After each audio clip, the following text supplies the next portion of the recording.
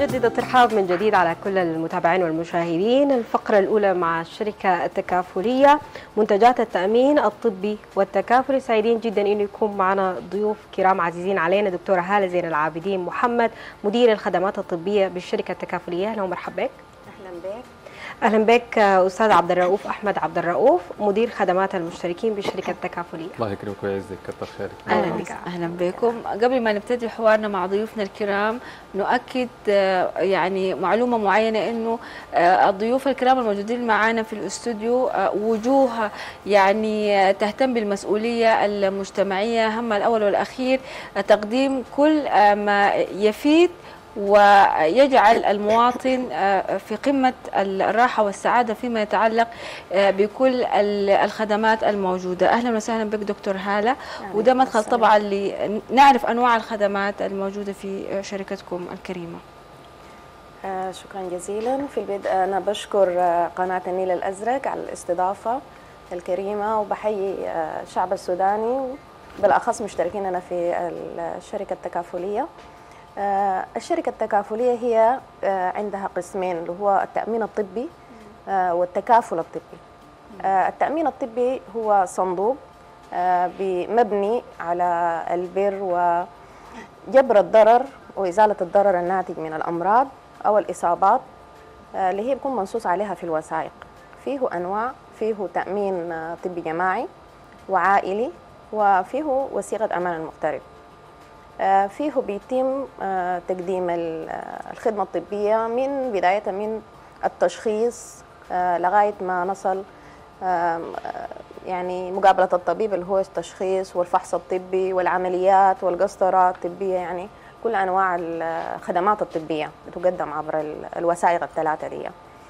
الجماعي فرقه من من العائلي إنه الجماعي معني بالمؤسسات اللي هي آه، تكون شركات بنوك.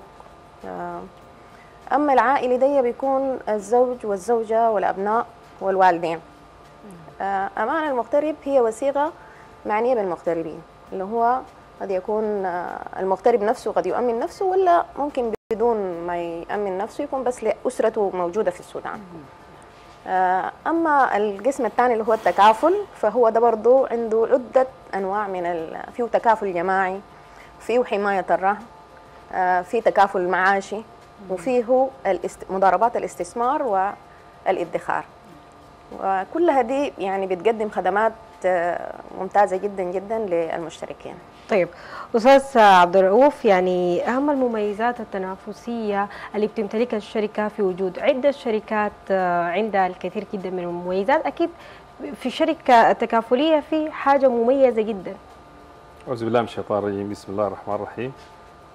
سعيدين أن نطل على الشعب السوداني عبر قناة النيل الأزرق ويمكن هي ال- القناة الصديقة يمكن أستاذ نجود دي ما أول مرة نعمل من خلال ال- تنوروا دائما إن شاء الله. نعم.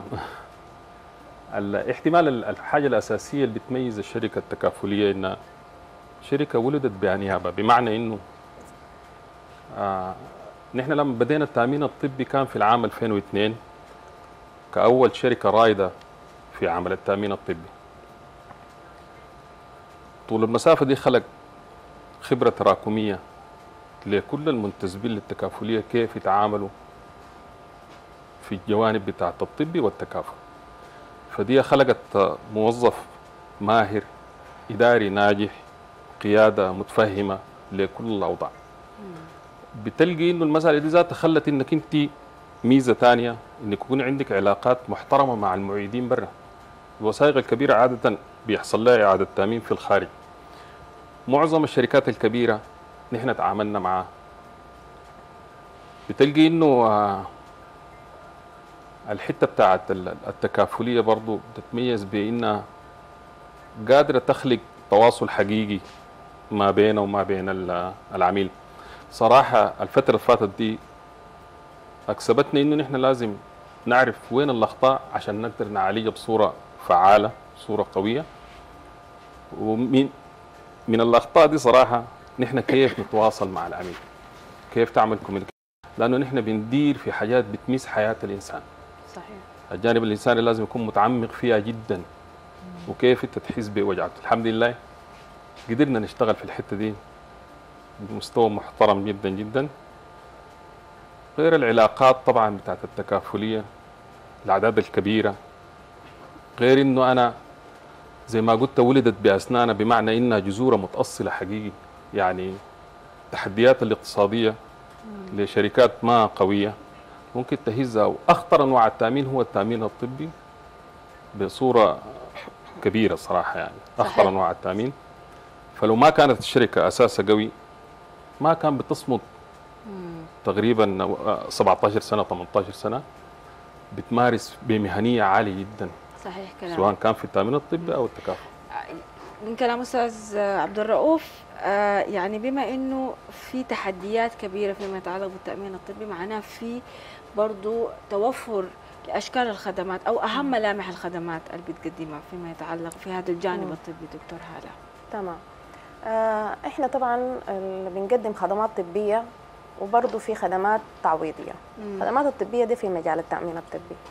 اللي هو إحنا متعاقدين عندنا شبكة طبية آه، مترامية عندنا في العاصمة كل يعني أميز المؤسسات الطبية إحنا بنتعاقد معها آه، بتقدم الخدمة الطبية اللي هو الكشف والمعامل CT MRI كل الحاجات دي لغاية العمليات زي ما قلت وكده. برضو عندي شبكة موجودة في الولايات يعني في كل المدن يعني امسكي من بورسودان حلفة دنقلة وانت ماشية. دي كل المؤسسات الطبية بتقدم الخدمة الطبية إحنا متعاقدين معاها. آه، دي يمكن برضو من المميزات اللي بتميز الشركة إنها هي بتوفر لك الخدمة في كل أنحاء السودان. يعني بتمشي الغارب هناك في الجنينة آه، نيالة الفاشر الأبيض تمشي الدمازين آه، الدبة بجاي القضاء في كل ولا يعني كل مدن السودان إحنا عندنا فيها آه، مقدم خدمة طبية بيستقبلك وبيقدم لك الخدمة الطبية ببطاقتنا. في تاني برضو جانب آه، الناس يمكن ما ما كويس اللي هو التكافل. التكافل ده اللي هو منه التكافل الجماعي اللي كنت ذكرته آه، بيغطي الوفاة حالة الوفاة وحالة العجز الجزئي أو العجز الكلي الدائم. وفي الأمراض الخطرة. دي فيها تعويض بيتم يعني آه، بيكون التأمين للمؤسسات زي ما قلت الجماعي دائما مؤسسات بنوك نقابات اتحادات. فلما تحصل حالة من دير يعني تحصل حالة وفاة وكده بيكون في تعويض بقيمة مالية. أحيانا بتكون كبيرة جدا جدا. يعني إحنا عندنا بعض الجهات آه، قد تصل إلى خمسة مليار للفرد. فكل الحاجات دي طبعا بتكون بالاتفاق وحسب الهنا فإحنا عندنا خدمة طبية يعني بميز كثيرة متوفرة يعني. نعم. طيب آه، مدى فعالية آه، رقم خدمات المشتركين يا أستاذ عبد الرؤوف في تقديم الخدمة يعني للعملاء؟ هو آه عندك اتصال بيجيك. أنا صراحة داير اقفز فوق للسؤال ده شوية كده. زي. ما قلت استشعارك بإنه ده ما زول مريض. بيتعامل معنا نحن ربنا سبحانه وتعالى اختصانا زي بإنه نخدم الناس قضاء حوائج الناس. فهو زول بيضرب لك بيكون صاحب حوجة حقيقية وأكثر من المرض ما في حوجة. المرض ده للوالد للوالدة للابن كلهم أعزاء على قلبه. نحن بشكل عام عندنا مشاكل في في المنظومة الطبية. صراحة يمكن آه، معظم الناس تعي ذلك يعني سواء كان في الخدمة أو تلقيها في الأساس. فأنا منوط بي إني أنا أكسر ال- العراقيل دي أقدم خدمة في أسرع وقت في فترة مناسبة بالجودة المحترمة. سعي لأنه الكاستمر يكون ساتسفاي صراحة. تتواصلي معاه. ودي ذاتها عندها مردود نحن قيمنا السودانية الطيبة السمحة. بتخلي الزول بيحس بالتوادد معاك. فلما تتواصل معاه بتخلق أكيد شراكة أو أخوة أو صداقه أو سعيدين بالناس كل عملائنا. نحن بنقول لهم يا إخواننا ما ما تتصلوا على زول غيرنا. نحن بنتحمل المسؤولية ونحن سعيدين إنه نخدمكم ونتمنى إنه ما في زول يضرب لزول تاني برا منظومتنا. يعني أي تلفون غير خدمات العملاء الثلاثة اثنينات سبعة بنتمنى أي اتصال يكون عبره أو عن طريق تلفوناتنا المباشرة سعيدين بنقدم الخدمة. الفعالية بتاعتها في إني أنا برصد برصد صراحة من خلال ال- ال system ال CRM بتاعي الموجود في في الشركة التكافلية برصد الحالات وبقدر أصنفها. والحرج فيها وين والما حرج فيها وين بستفيد منها مستقبلا في وضع الخطط. ما عندنا مشكلة في إنه نستقبل أي مكالمات في أي وقت. 24 أي وقت. دي حتة زي 16 خط حتى لو كانت 4 صباحا 2 صباحا 3 صباحا راح تعاملنا هي بتهمنا في المقام الأول. دي حاجة وصراحه. صادقين فيها جدا جدا. الحاجة دي دكتورة هالة يعني التعامل اللطيف وإنه يشعر الزول ال- الموجود معكم تحت منظومتكم إنه جزء لا يتجزأ من الشركة الكبيرة التكافلية دي. معنا في استثناءات في سقوفات في الخدمات الطبية. نعم. آه، طبعا آه، دي حاجة مهمة جدا في كل الوثائق الطبية. آه، وعالميا يعني. في استثناءات. من التأمين الطبي وفي آه، سقوفات للأمراض. يعني مثلا إحنا عندنا الاستثناءات المعروفة عالميا ومطبقة في أغلب الشركات اللي هو الاستثناءات ال- اللي هي العقم آه، التجميل. يعني اللي هي دي الحاجات اللي ما بيغطيها التأمين. دي أمثلة ليها. أما مسألة السقوفات دي يمكن الناس ما ما بتستوعبها يعني ما مستوعبها. الشركة بتغطي ال- المؤمن في حدود سقوف معينة. في سقف اسمه السقف العام. السقف العام ده للأمراض اللي بتكون حادة أو يعني الأمراض اللي بتجي فجأة ما هي شيء تراكمي.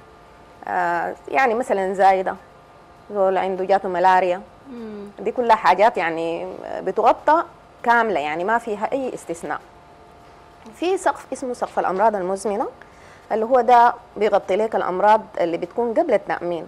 يعني برا بقول لك أي حاجة سابقة للتأمين لا تغطى لكن إحنا عندنا لا. ففي النهاية البني آدم بني آدم. بني آدم. أيوة. فبيدخلوها بس بيدخلوها بسقف لأنه هي أصلا مستثنى لكن إحنا بندخلها بسقف آه اللي هو بجزء من من العام. في تاني سقوف زي سقف الأسنان عندنا سقف البصريات اللي هو ده للنظارات والفريمات وكده. في تاني السقف بتاع الحمل والولادة. بقى ده عاملين له سقف براو لأنه طبعا لو دخل هنا ما حيكفي. فلازم. ودي بتعتبر يعني سقوف آه، آه، اختيارية. يعني ممكن. تختار الأسنان أو ما دايرة الأسنان. دايرة النظارات ما دايرة طيب. آه كيف ممكن يستفيد المشترك بصورة مثلى من من التأمين الطبي؟ يحافظ عليها يحافظ عليها بمعنى إنه البطاقة دي زي ما تفضلت الدكتوره هالة هي جواها في اسقف آه الأسقف دي قدر ما يحافظ عليها بال بال بال الحوجة الحقيقية بيكون كويس. إحنا ما بندير في ماعون كبير. التامين أساسا مبني على نظام الكميات. ال- الأسقف دي بتتآكل. يعني أنت لما تشيل البطاقة تمشي تقابل أخصائي بتاع باطنية. ما عندك حوجة لأخصائي تاني. لكن مرات الواحد لما يلقى بيمشي لأخصائي تاني وأخصائي ثالث ودي بتأكل من جوا السقوفات فبنقع في حرج إنه سقفه انتهى. عشان تتمتع بالمزايا بتاعت البطاقة حافظ عليها في المقام الأول. عندنا تاني حاجة دارين ننبه لها صراحة الطيبة بتاعت الشعب السوداني. مرات بيعتبر إنه البطاقة دي ملك للجميع. بيقوموا بدي؟ هي البطاقة صراحة هي ملك للشخص شخص واحد المعني. أيوة. زي ما قلت هو معون كبير بيشتركوا فيه عدد كبير من المشتركين. ال- الما بيمرض بيشيل اللي بيمرض صح. بفكرة عامة. فتشيل البطاقة حينتهي سقيفها حتفقد الخدمة. فهو ما حيقدر يستمتع بها ل- لأمد طويل. سنة كاملة مشاكلها ممكن تحصل كثيرة وممكن تحتاج لها احتياج حقيقي ما تلقاه. بعد ذاك الناس تقعد تشوف المخارج في ده, الأساس ده حافظ يمكن من عليها. سوء الاستخدام الشائع جدا عندكم. بس أنا ما دار أقول بسودي لكن أيوة. دار أغلفها هو الكلام جميل جدا. بعدين أثناء ما أنت بتتكلم حضرتك واستخدامك لعباراتك الجميلة دي أنا دي شعرت إنه إحنا زي قاعدين في أسرة ممتدة بيت كبير يعني. نحن برضه حاسين كده. والله العظيم. بعدين يعني هسي الليلة معاكم ناس لهم سنين أيوة. موجودين معاكم عملاء وولاء لكم نعم. فبالتالي سنة عن سنة بيكون في مشروعات وثائق جديدة. نعم. فهي شنو ممكن تكون دكتوره هاله الجديد لدى الشركة التكافليه طيب آه الشركة التكافلية آه دائما يعني بي- بتبحث عن الجديد وبتفتش ففي مجال مثلا التكافل آه عندنا في التكافل آه، في وثائق هي أجيزت من ال- هيئة الرقابة نعم. الشرعية. وبعضها يعني تحت آه، منها يعني الوثيقة بتاعت آه، عندنا وثائق أيوه المهن الطبية اللي هي يعني حماية ال- المهن الطبية والرياضية برضو الوثيقة الرياضية آه، والتعليم وثيقة تكافل التعليم اللي هو دي يعني تعليم الأبناء وكده. ممكن برضو تعمل لها وثيقة. آه، في آه، مشاريع إحنا يعني بدنا نفكر في إنه نستثمر في المجال آه، التأمين الطبي على ونوفر للمشترك برضو بعد ال يعني ال- العنت اللي بيلقاه في إنه يلقى الدواء. دي مشكلة.